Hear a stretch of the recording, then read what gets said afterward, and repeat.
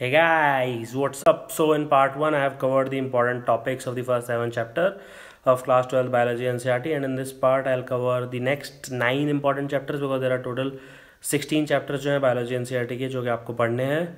and uh, class 12 biology NCERT it is very very funny uh, that it has not been changed for last 12 years so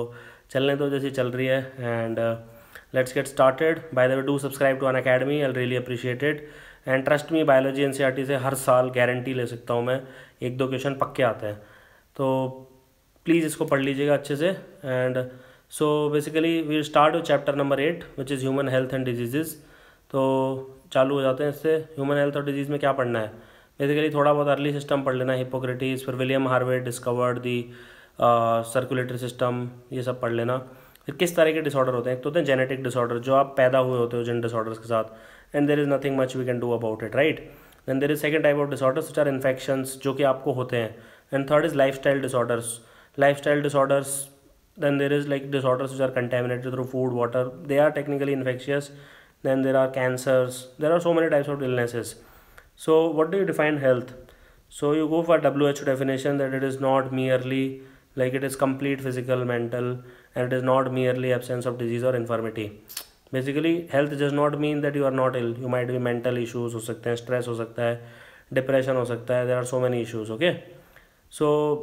disease basically let's group them in two parts infectious and non infectious disease infectious disease are easily transmitted from one person to another लेकिन includes AIDS वगैरह hepatitis non infectious disease includes cancer आपको cancer है तो सामने वाले को cancer नहीं होगा unless it is caused by some viruses like human papilloma virus cervical cancer etcetera that is a different issue all together so what is a pathogen pathogen is the disease causing agent एक line में then जैसे Salmonella typhi leads to typhoid in human beings etcetera उसके symptoms वगैरह दे रखे हैं typhoid fever के diagnosis में विडाल टेस्ट यूज़ होता है that is given so please go through that okay then typhoid Mary की इंटरेस्टिंग केस स्टडी है that read that then pneumonia किस किस से होता है Streptococcus pneumoniae Haemophilus influenzae viruses से भी हो सकता है बैक्टीरिया से भी हो सकता है even some fungus can also cause it so basically you need to understand कि medical science is very very complicated and it's not easy to understand and then there is common cold it is caused usually by viruses which means rhinoviruses rhino hote na one horned rhinoceros wo wala rhino and uh, then you have malaria try to read all the four species vivax malaria uh, falciparum falciparum is considered one of the most dangerous so it can be fatal तो वो line लिखी हुई है इसमें सीधा MCQ बन जाएगा ठीक है कौन ट्रांसमिट करता है फीमेल एनाफिलिस मॉस्किटो यूपीएससी में लिखा होगा male anopheles mosquito basically these are the difference वो आपको करेंगे It is caused by mosquito. That is wrong. Mosquito is just a carrier. It is caused by protozoa which is called as a plasmodium. It is a bacterial disease viral disease क्या है it is a protozoan disease तो protozoa are different group of organisms ठीक है तो RBC rupture होते हैं इसमें वो लिवर में काफ़ी लोड होता है फिर उसकी एक साइकिल दे रखी है मलेरिया की स्पोरोजाइट स्लेवरी ग्लैंड पूरा एक साइकिल दे रखा है पेज नंबर 148 पे तो फिगर 8.1 इसको अच्छे से पढ़ लेना फिर ऐसे जिसको डिजेंट्री बोलते हैं तो डिजेंट्री बेसिकली मीन्स स्टूल में अगर आपके ब्लड होगा तो उसको डिजेंट्री बोलते हैं फिर एस्कैरियासिस एलिफेंटियासिस फिलेरियासिस उसमें डायग्राम दे रखा है फिगर एट पॉइंट टू में इसको एलिफेंट लिम्ब बोलते हैं आई वो कैरेरिया मलाई ब्रोगिया मलाई इन सब से होता है देन रिंग फर्म इन्फेक्शन बहुत सारी फंगस होती है microsporum Trichophyton Epidermophyton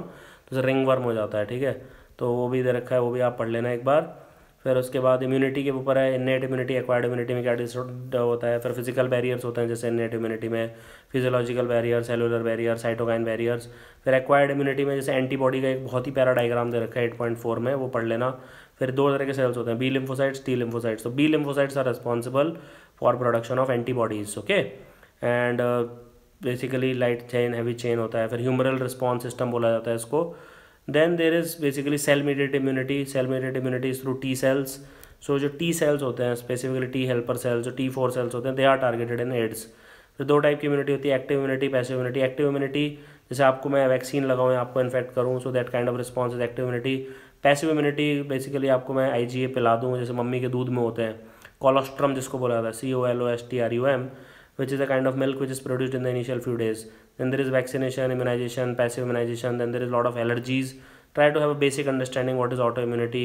the immune system in the body lymphoid organs like bone marrow thymus etc so these will be the question asked and finally there is aids so aids के बारे में please read in detail it is called retrovirus acquired immune deficiency syndrome first reported in 1981 and now it has been almost 40 years it will be there and it is RNA virus reverse dogma of life RNA leads to DNA DNA leads to RNA RNA leads to protein and protein leads to finally infection and replication and what is the retrovirus all these things becomes important then ELISA test enzyme linked immunosorbent assay then you have cancer cancer basic mechanism पढ़ लेना benign tumor malignant tumor metastasis carcinogens oncogenic viruses okay cancer detection diagnosis how it has to be done etc and then there is basic treatment of cancer then drugs and alcohol abuse opioids जिसको smack बोला जाता है morphine बोला जाता है heroin बोला जाता है ठीक है ब्राउन शुगर भी इसी को बोलते हैं सो बेसिकली डिफरेंट टाइप्स का इसका प्रोडक्ट होता है and then you have cannabinoids जिसको गांजा मैरीवाना वीड हैशीश ये सब जो उसमें चरस so all these are basically types of various cannabis plant होता है cannabis sativa then coca alkaloid cocaine से मिलता है कोका और crack then reds amphetamines L वगैरह सब दे रखा है उसमें तो बेसिक एक पढ़ लेना फिर एंड ड्रग अब्यूज़ अगर ये आपको सोशोलॉजी मैथ से लिखना पड़े addiction and dependence withdrawal syndrome effects of drug alcohol abuse तो ये बेसिक बेसिक आप देख लेना liver cirrhosis prevention and control like avoid peer pressure education etcetera ये सब दे रखा है फिर उसके बाद आता है आपका chapter nine how to how can we enhance food production in biology so इसमें आपका जैसे जो बेसिक्स है वो ये है कि जैसे more than seventy percent of the world livestock in India and China तो ये बेसिक फट्टे काफ़ी सही रहते हैं फिर डेयरी फार्म मैनेजमेंट बेसिक देख लेना poultry farm management so all these basics basics you should cover then animal breeding how it has to be done what is in breeding what is out breeding so अगर four to six generation में same basically group of organism में meeting होती रहती है तो वो decrease हो जाते हैं उनके features okay so that is like basically in breeding so you have to out breed them and homozygosity inbreeding depression क्या होता है out breeding out crossing cross breeding inter specific hybridization फिर कंट्रोल ब्रीडिंग एक्सपेरिमेंट्स में artificial insemination होता है MOETs होते हैं multi ovulation embryo transplantation technique then you have bee keeping so apiculture is basically bee keeping basic knowledge दे रखी है fisheries को pisciculture बोला जाता है कटला रोहू वगैरह इंडिया में काफ़ी होती है फिर प्लांट ब्रीडिंग में ग्रीन रिवॉल्यूशन दे रखा है कि दस हज़ार साल से एग्रीकल्चर चल रहा है but recently we have like germ plan collection करके evaluation of parents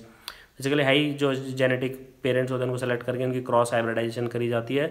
फिर testing and release and commercialization of new cultivators etcetera etcetera then wheat and rice sugar cane millets then methods of breeding for disease resistance etcetera and then you have mutation basic mutations mutation breeding then that is not that important तो फिर आप इसको छोड़ सकते हो आगे फिर bio fortification पढ़ लेना जैसे सॉल्ट में आयोडीन डालते हैं तो इसलिए डालते हैं ताकि सबको आयोडीन मिल जाए उसी तरीके से प्रोटीन भी डाल सकते हो विटामिन ए विटामिन डी सब डाल सकते हो इस चीज़ को बोला जाता है बायोफोर्टिफिकेशन जैसे गोल्डन राइस होता है उसमें विटामिन ए भर भर के होता है कैरोटीन्स होते हैं टेक्निकली फिर सिंगल सेल प्रोटीन क्या होता है जैसे स्पायरोना एक वो होती है ऑर्गेनिज्म जिसमें बहुत सारा प्रोटीन होता है बहुत सारा प्रोटीन ठीक है फिर टिश्यू कल्चर होता है पढ़ लेना explant potent cells micro propagation soma clones somatic hybridization etcetera so ये आपका आपका चैप्टर नाइन हो गया फिर chapter ten microbes in human welfare तो ये टिपिकल बायोटेक आप पढ़ोगे इसमें कि क्या ऑर्गेनिजम्स होते हैं क्या क्या होता है जैसे लैक्टिक एसिड बैक्टीरिया से आपका दही बनता है ठीक है फिर माइक्रोब्स इन इंडस्ट्रियल प्रोडक्ट जैसे फर्मेंटर जितनी भी बियर होती है जितने भी आपके अल्कोहल्स होते हैं they are usually made through Saccharomyces cerevisiae है जिससे ब्रूअर्स ईस्ट बोलते हैं जिससे भी आपका केक बनता है पेस्ट्री बनती हैं जो आपका डो बनता है डो समझते हो मतलब जो ब्रेड का जो मटेरियल होता है they are all made through the micro organism then antibiotics में जैसे पेनीसीलियम आ जाता है आपका so this is also obtained from a microbe ठीक है then you have various chemicals and enzymes and other bio active molecules then microbes in sewage treatment you can have a basic understanding of sewage treatment कई बार हो सकता है detailed question पूछ ले mains में कि primary secondary treatment then biological oxygen demand basic पढ़ लेना what is activated sludge what is anaerobic sludge digesters biogas बहुत बेसिक बेसिक आइडिया ले लेना इसका फिर मिथेनोजन्स क्या होते हैं बायोगैस प्लांट वगैरह के बारे में थोड़ा दे रखा है यहाँ पे तो वो आप एक बार देख लेना क्योंकि गाँव में काफ़ी मदद आ सकती है फिर biological control of pest and disease so that also becomes very important जैसे टी कॉटन का यहाँ पे एग्जाम्पल दे रखा है बैसेलस थुरंजनेसिस तो ये कैसे काम करता है एक बार वो देख लेना फिर microbes as bio fertilizers that is also important organic farming mycorrhiza mycorrhiza का लास्ट पेज के लास्ट में एक छोटा सा वर्ड लिखा हुआ है कि fungus are also known to form symbiotic association plants call as mycorrhiza और पूछते हैं इसी पे क्वेश्चन है तो लास्ट तक बिल्कुल हिलना मत फिर कुछ फ्री हैं जैसे साइनोबैक्टीरिया हैं जैसे fixed atmospheric nitrogen Anabaena Nostoc ये सीधे पूछते हैं तो पैडी फील्ड्स में cyanobacteria serve as an bio biofertilizer तो ये सब आप प्लीज़ थोड़ा सा ध्यान से पढ़ लेना फिर चैप्टर इलेवन आपका आ जाता है बायोटेक्नोलॉजी ओके okay? तो उसमें आपका मैं बता देता हूँ क्या क्या पढ़ना है बायोटेक की डेफिनेशन प्रिंसिपल्स ऑफ बायोटेक्नोलॉजी जैसे genetic engineering recombinant DNA gene cloning gene transfer origin of replication cloning then plasmid etcetera then restriction enzymes molecular scissors so plasmid dna acting as vectors then you have cloning then you have tools of recombinant dna restriction enzymes like restriction endonuclease फिर recognition sequence etcetera exonuclease endonuclease then एक nucleotide sequence palindrome पूछ सकते हैं क्या होता है जैसे palindrome होता है आपका इधर से पढ़ो चाहे उधर से पढ़ो सेम होता है they are mirror images okay जैसे वर्ड मलयालम है तो आप चाहे उसको आगे से पढ़ो चाहे पीछे से पढ़ो that is a palindrome so फिर उसके बाद बेसिक प्रोसेस क्या होता है लाइगेज का काम ज्वाइन करना होता है कट किससे मारते हैं ठीक है तो कट किससे करते हैं ज्वाइन किससे करते हैं तो एक फिगर एलेवन पॉइंट टू इसका देख लेना फिर separation and isolation of D N A fragment that is important gel electrophoresis वगैरह that becomes important cloning vectors then origin of replication uh, selectable markers cloning sites antibiotic resistance all these becomes important okay then vectors for cloning genes uh, etc uh, then uh, vectors uh, uh, like competent host for transformation with recombinant dna etc that becomes important micro injection biolistics gene gun so all these point becomes important then there is isolation of the genetic material including dna etc like enzymes like lysozyme cellulase chitinase from fungus so all this becomes important then uh, cutting of dna at specific location is also important then ampli amplification of pcr important hai polymerase chain reaction sirf definition pad lena utna bhi bahut hai for selectable marker then you have recombinant protein etc then bioreactors basically kya karte hain wo thoda sa it will help you to like क्या auto clay वगैरह थोड़ा बहुत इसमें वो भी दे रखा है try to have very very basic understanding this जैसे वो सीधे इन फुल फॉर्म पूछ लेंगे पी क्या होता है पी मतलब पुलिस कंट्रोल मैं उसकी बात नहीं कर रहा I am talking about biological P C R now biotechnology its in application chapter twelve is very very important ठीक है तो इसमें क्या क्या होता है ग्रीन रिवॉल्यूशन जो है वो टोटल बायोटेक्नोलॉजी पे बेस्ड है जेनेटिकली मॉडिफाइड ऑर्गेनिजम्स हैं etcetera so these are like totally biotech based है ना देन बीटी कॉटन पे डायरेक्ट क्वेश्चन पूछ सकते हैं बीटी की फुल फॉर्म क्या होती है जैसे बैसेलस थोरेंजनाइसिस बोलते हैं कैसे काम करता है ये इसमें क्या होता है एक टॉक्सिन प्रोड्यूस होता है तो अगर वो बग जो है वो उस पेड़ को खाएगा जैसे कॉटन को तो वो उसमें जाके एक्टिवेट हो जाएगा बिकॉज उसका स्टॉमक एल्कलाइन होता है तो वो एक्टिवेट हो जाएगा वो मार देगा उस बग को तो वो खाना बंद कर देंगे थोड़ी देर में जैसे लेपिडोटेरेंस होते हैं tobacco budworm armyworm coleopterans beetles dipterans so they have like crystals which are insecticidal protein अब आप बोलोगे आप खा गए तो क्या होगा वो हमारे अंदर एक्टिवेट नहीं होगा ठीक है तो उतना देखते हैं साइंटिस्ट ठीक है so it will not get activated inside you so it has the gene name cry cry one A C cry one A B ये हमारे पी एम टी में दो हज़ार आठ से पूछ रहे हैं अभी भी पूछते हैं कोई डेवलपमेंट नहीं हो रहा हमारे बुक्स में destroyed by basically you can see boll worms then figure twelve point one एक बार देख लेना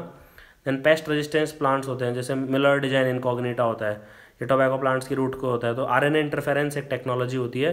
अब आपको लग रहा होगा ये नहीं पूछते लेकिन ये पूछते हैं तो just go through that so agrobacterium vectors वगैरह this becomes important so twelve point two एक बार आप देख लेना ठीक है तो मिलर डिजाइन इनकॉग्नेटा एक तरह का निमोटोड होता है तो उससे डिजीज़ हो जाते हैं फिर एक जेनेटिकली इंजीनियर्ड इंसुलिन होता है जैसे मैंने आपको बताया था एली लिली कंपनी ने किया था नाइनटीन एटी थ्री में so they produce the plasmid of E coli Escherichia coli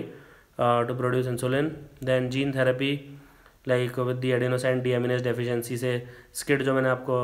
एक डिसऑर्डर था उसमें भी होता है ठीक है सो इसमें क्या होता है बबल बेबी बन जाता है मतलब उसको ना बी बनता है ना टी बनता है काफ़ी स्किड करके स्किड जो डिसऑर्डर होता है उसमें तो उससे आपकी बच्चों की जान बचाई जा सकती है using gene therapy and it can go a long way okay now molecular diagnosis में जैसे आपको एड्स की डायग्नोस करनी है ELISA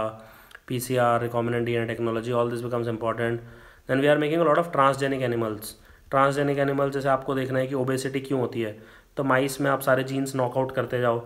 एक एक एक करके और फाइनली आइसोलेट कर लो कि इस जीन के कारण ओबेसिटी होती है तो we can control it we can do vaccine safety whether vaccine is working और नॉट केमिकल सेफ्टी जैसे आप कोई प्रोटीन लगाते हो बाल में शैम्पू में तो whether it is safe for humans और not obviously there are lot of ethical issues for this we have genetic engineering approval committee for जी अब ये सीधा क्वेश्चन पूछा था इस पर सीधा क्वेश्चन आया था यू पी एस सी में कि जी ई सी कौन होता है कौन अप्रूव करता है तो अगर आप इसको पढ़ोगे तो यू विल गेट बायोपायरेसी बहुत लूटते हैं इंडियंस को we have a huge knowledge lot of patents have gone outside India then you have chapter 13 14 15 16 and they are like very very important chapter and i have covered them in course on an academy so all these are important chapters just read them page by page there is nothing much to select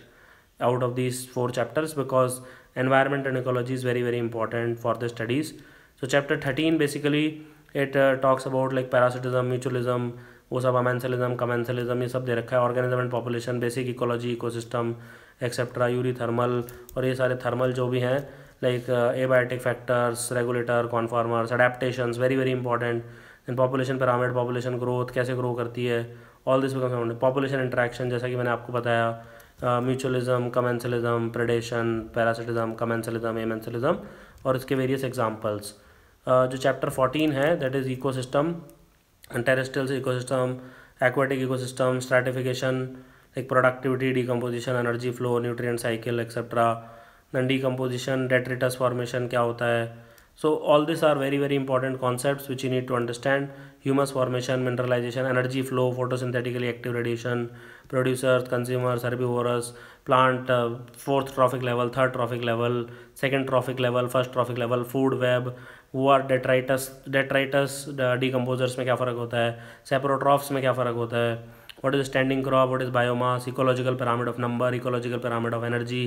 ecological pyramid of biomass so these three becomes important energy का हमेशा वो होता है inverted uh, pyramid बनता है बाकी सबका अपराइड भी बन सकता है इन्वर्टेड भी बन सकता है then ecological succession is important climatic community ecological succession succession of plants hydrarch zearch pioneer species climax species lichens nutrient cycle ठीक है carbon cycle phosphorus cycle nitrogen cycle ecosystem services etcetera chapter 15 basically deals with biodiversity and conservation very very important chapter genetic diversity species diversity basically ecological diversity how many species are there in india basic idea insects are the largest group on the entire world arthropoda are obviously there but even in that insects why does loss of biodiversity happens habitat loss fragmentation alien species invasion coexistence co-extinction uh, why do we conserve biodiversity ethical issues in situ conservation ex situ conservation endemism so all these are very very important concept direct पूछे जा सकते हैं then chapter sixteen is environmental issues so abhi tak वही environmental issue hai 12 saal se तो you can talk about air pollution pollution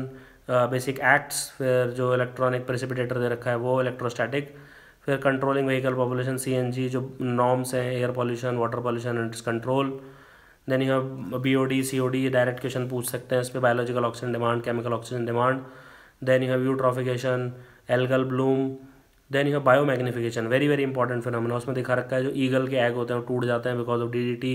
going up the chain eutrophication accelerated eutrophication और cultural eutrophication और anthropogenic eutrophication फिर solid waste में आएगा आपका municipal solid waste उसको कैसे सेपरेट किया जाता है and agro waste then you have radioactive waste then greenhouse effect global warming फिर बेसिक जो गैसेज होती हैं C O two C F C N two O methane etcetera then ozone depletion happening in the stratosphere फिर उसको कैस किस unit में नापते हैं Dobson scale that also becomes important then chlorofluorocarbon etc etc montreal protocol vienna convention then soil erosion desertification water logging soil salinity deforestation and so on so this finishes our entire 12th class biology in crt and i'll i'll make a very detailed course on this sometime so thank you for watching this have an awesome day